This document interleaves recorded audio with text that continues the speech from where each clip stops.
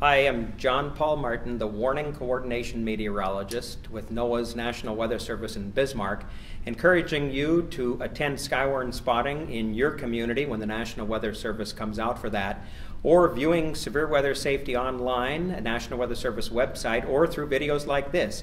Uh, National Weather Service website, www.weather.gov. This warning team, you take the storms around Jamestown.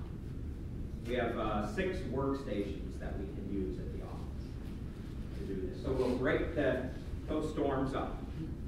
You've got those storms, I've got these storms. And then of course, you tend, when you're, when you're do, when you do that, you tend to lose the big picture because you're so focused on your little area. So we have an event coordinator who's keeping an eye on the big picture. So that when a thunderstorm starts moving into Bowman County, somebody in the office is aware that there's a thunderstorm now moving into Bowman. Tornado, we'll talk a lot about.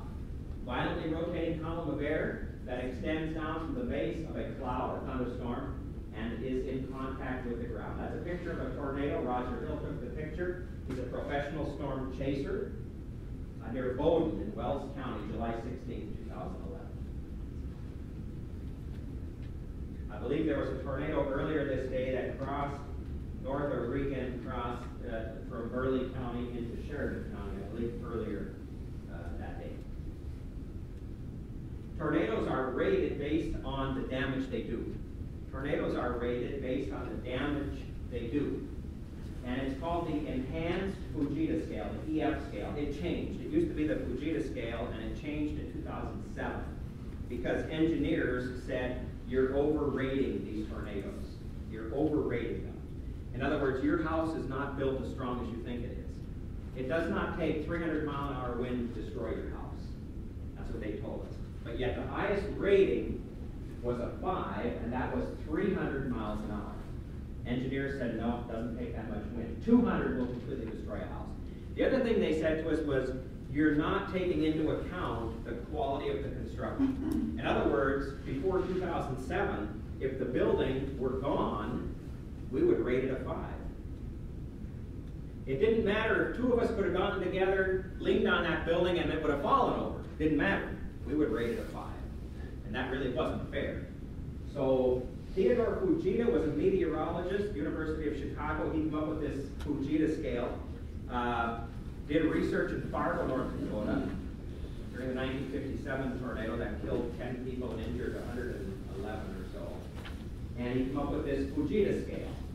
Uh, but again, engineers told us that uh, we, we really needed to make an adjustment. So we needed to enhance it. And he waited until he died.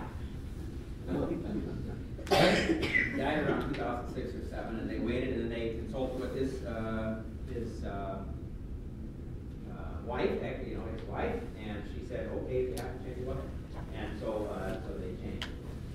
So really, when we come out and do a damage assessment, if there's a little tornado and it tears up some wheat in a farmer's field, I am not going to drive up.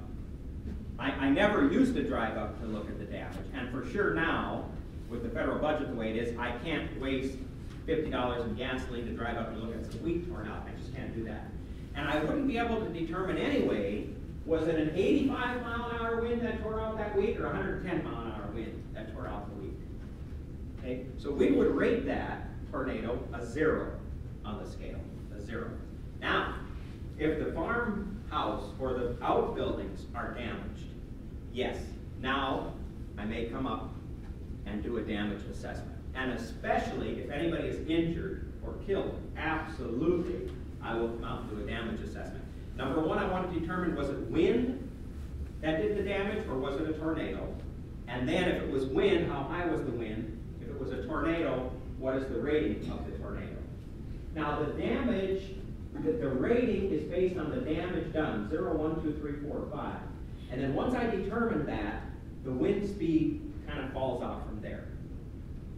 I am not looking say the wind, I am not looking to say the wind was 125 miles an hour, so that's an EF2. No. I'm saying this was an EF2 tornado, and then the wind speed was whatever it is. Okay? And there are guides we use, for example, a house. Some shingles torn off the roof and maybe the rain gutter torn off, zero. Parts of the roof torn off, may take us to a one. Large parts of the roof, maybe a wall, two, so on like that. And again, the quality of construction. Was the wall anchor bolted into the foundation? Or, like sometimes happens, was the building just kind of set down on some cinder blocks? And it really wasn't anchored to the foundation. So all those things we consider now. Again, really the only thing you need to know, weakest tornadoes is zero, all the way up to a five, the strongest. Have we had the fives in North Dakota? Have we had any five highest, worst kind of tornadoes? Absolutely we have. Absolutely we have. These are the most violent tornadoes, the fours and fives.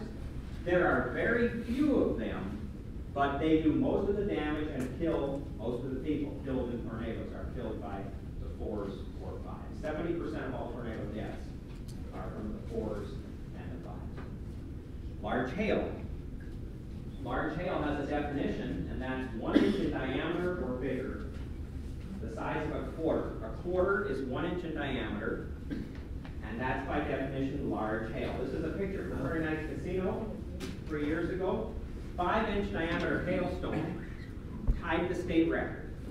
Tied the state record for the largest hailstone in the state of North Dakota that we know of. Back to 1950. The reason we use 1950 for tornadoes and hail and wind is because the National Weather Service says that's when we feel more accurate records started being kept. So we go back to 1950. This tied a five-inch hailstone from 1969 or something like that in Mercer County, somewhere around field.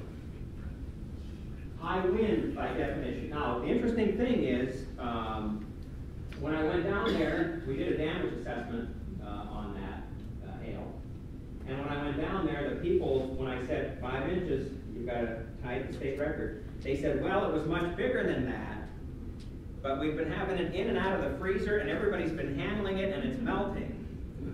But see, the problem with that is, um, what do you want me to call it then? You want me to call it five and an eighth, five and a quarter, five and three eighths? Can't just make up a number. We need you to take a picture before people melt it. before people put it in their soda and, and have to start melting. Um, the high wind, by definition from a thunderstorm, high wind is 58 miles an hour or higher. 58 miles an hour or higher is by definition high wind. That comes from, if you're familiar with knots, K-N-O-T-S, nautical miles per hour. You know, a, a, boat in the Navy, they don't say we're going uh, uh, 12 miles an hour, they say we're going 10 knots. Or an airplane, they don't say we're going um, uh, 50, uh, 58 miles an hour, say we're going 50 knots. The plane wouldn't be going that slow, but nonetheless. So what we use is uh, nautical miles per hour or knots. The official equipment we have at the Bismarck Airport measures wind speed in nautical miles per hour, K-N-O-T-S, knots. 50 knots, 50, is the same as 58 miles an hour. And it's the same thing as are you going, uh, are you going 66 miles an hour or are you going 100 kilometers per hour? Yes, it's the same speed, it's a different way to measure. Same thing here. Why is this important? Why is the definition of large hail and high wind important? Well, because we issue severe thunderstorm warnings. You ever hear of a severe thunderstorm warning? The definition of a severe thunderstorm is one that produces either large hail or high wind. So if you hear severe thunderstorm warning, we're saying you're going to get either hail, one inch in diameter or bigger, or wind 58 miles an hour or more. You may get both. You could get both. We'll, we'll try and tell you that in the warning. So let's talk about what we do about these events, these products. Watch, a watch product.